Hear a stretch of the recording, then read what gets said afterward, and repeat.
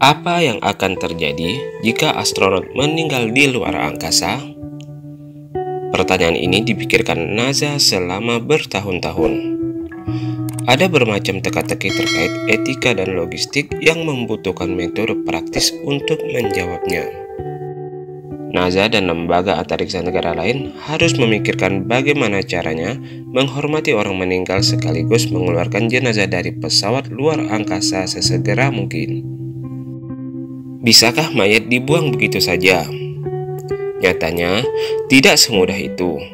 Undang-undang PBB pun seperti dikutip dari IFL Science sebenarnya melarang pembuangan mayat di luar angkasa. Karena itu, NASA harus kreatif. Mereka menciptakan beberapa kelompok penelitian untuk menghasilkan beberapa ide yang bisa diterapkan dan menjelajahi berbagai cara untuk membuang mayat di luar angkasa.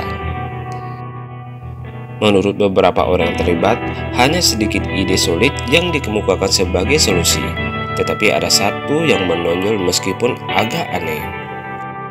Bekerja sama dengan perusahaan pemakaman ekologi Promesa, satu tim peneliti mengusulkan ide yang dinamakan body bag.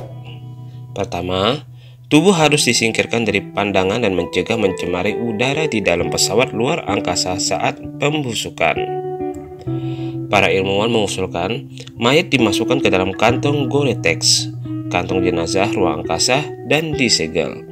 Tahapan ini memungkinkan etika penghormatan kepada anggota kru yang gugur.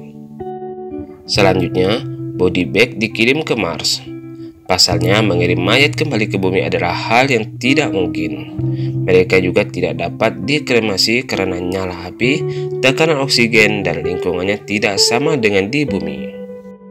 Jadi, tim beralih ke cara promesion, yaitu teknik penguburan ekologis dengan membekukan dan menggetarkan jenazah hingga tubuh hancur menjadi debu. Cara ini berpotensi mengembalikan mayat ke ekosistem dalam bentuk pupuk jika mereka ingin memanfaatkannya.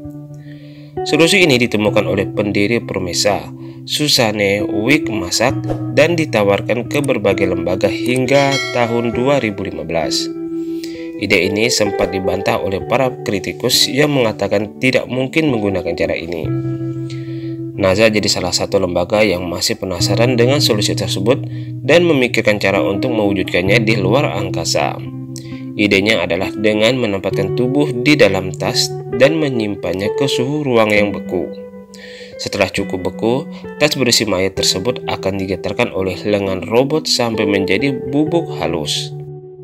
Debu ini kemudian bisa disimpan, siap untuk dikembalikan ke pihak keluarga berbarengan dengan kru pesawat luar angkasa pulang ke bumi atau digunakan sebagai pupuk. Namun, opsi kedua masih diperdebatkan karena diperlukan studi lebih lanjut untuk membuktikan praktik penguburan terestrial bisa mengubah mayat menjadi kompos.